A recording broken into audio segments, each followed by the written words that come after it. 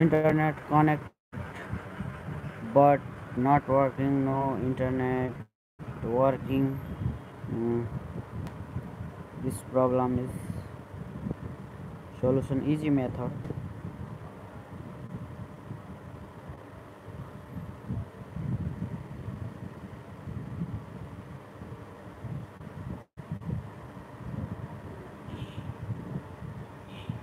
no internet connection problem. Internet 100% okay but not working. Okay go first of all setting. Addition of setting first was date and time. Time and 12 hour. And back back. Get trying internet. This 100% success internet is okay.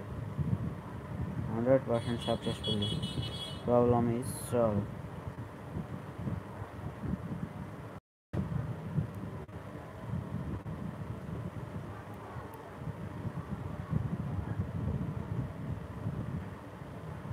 Okay now 100% success